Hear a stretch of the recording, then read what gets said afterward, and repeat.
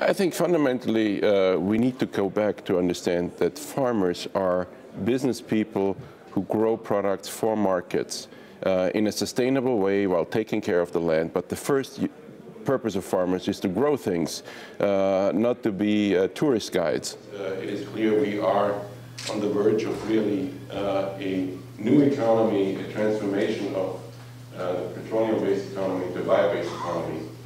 And that has uh, substantial implications for governments, for civil society, but of course also for the private sector. The biggest challenge in the short term is really to get uh, uh, now plants built, uh, large-scale biorefineries built and optimized. And in the long term to ensure that the biomass is grown uh, uh, by farmers all across Europe. we had a very brief moment in history where the carbon that was produced millions of years ago was put in the ground and we found a way to get it out very quickly and cheaply. Uh, that brief moment in history uh, will come to an end.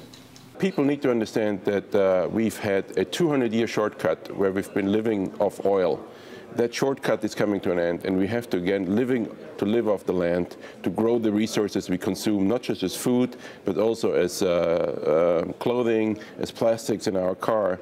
And that is eminently doable if we use the technology, modern technologies, for sustainable production of agricultural resources. The biggest need we have is for coherence and alignment of ac actions, from very ambitious goals uh, of renewable content to uh, clear procurement policies, preferential sourcing policies, where governments, which often are half of the economy, buy products based on their renewable content.